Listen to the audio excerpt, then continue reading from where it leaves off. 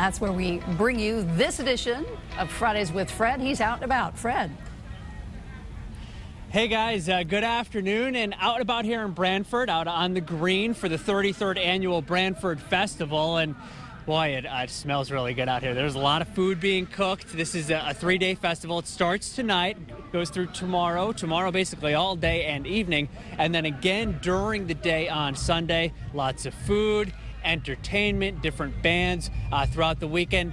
Now all we need is some nice weather. There have been some downpours in this part of Connecticut in the last hour. Right now, it's just a light drizzle that's falling. And, you know, sadly, here we are in the middle of June, and I'm wearing wearing the jacket because the temperature is generally in the low 60s, low to mid 60s right now throughout Connecticut. The worst of the rain so far today has been in the eastern part of the state, particularly uh, in New London County, where they've had some very heavy downpours coming through in the last several hours. And right now, a lot of the rain, the steadier stuff anyway, has shifted to the east of uh, New Haven and east of uh, here in Branford. So as you look at the radar right now, East Haddam, you're seeing uh, some rain up into the 395 corridor.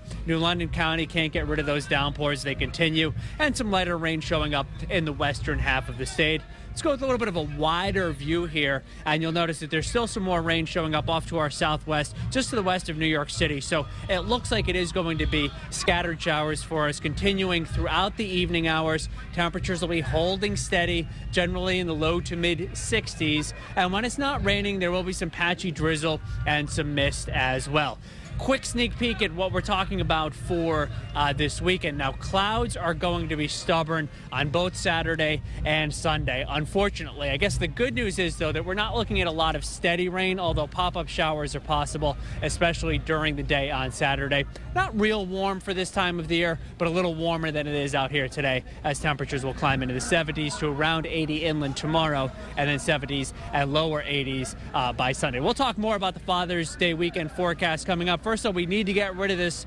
rain. I'm catching a lot of heat here from a lot of the people who say you're just killing us. So I don't know if they do public floggings or anything in the town of Branford, but I am a candidate for one of those uh, if there was to be one because people want a little bit better weather and we're hoping that these showers will stay away from Branford. We'll talk more about the festival and have your eight day forecast coming up in just a little bit. We'll send it back to you guys.